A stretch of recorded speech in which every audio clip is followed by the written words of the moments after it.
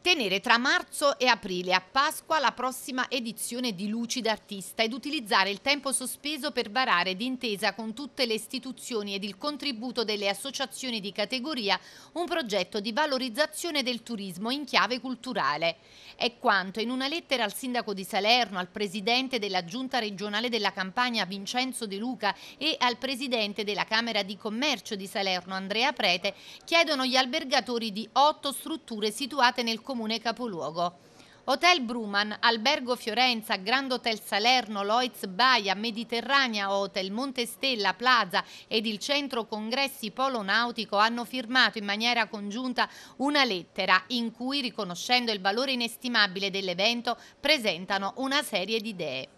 L'obiettivo è quello di non cancellare la manifestazione che più di ogni altra ha avuto un impatto economico sulla città, sul PIL del comune capoluogo, oltre che nell'accrescimento della notorietà internazionale di Salerno ma anche ridurlo, scrivono gli albergatori, non avrebbe senso e per questo propongono di creare un evento parallelo come Artisti in Luce, un festival nazionale di teatro musical in lingua inglese aperto a tutte le scuole d'Italia sfruttando la bellezza dei teatri cittadini e poi ancora la realizzazione di un nuovo sito museale nel centro storico dedicato all'esperienza culturale della scuola medica salernitana, l'utilizzo degli spazi del vecchio tribunale per la nascita di un nuovo sito museale museale in grado di ospitare il Museo dello Sbarco ed infine la creazione di strumenti tecnologici che agevolino la fruizione dei beni culturali nel centro storico. Da parte nostra, aggiungono gli albergatori salernitani, ci rendiamo disponibili a supportare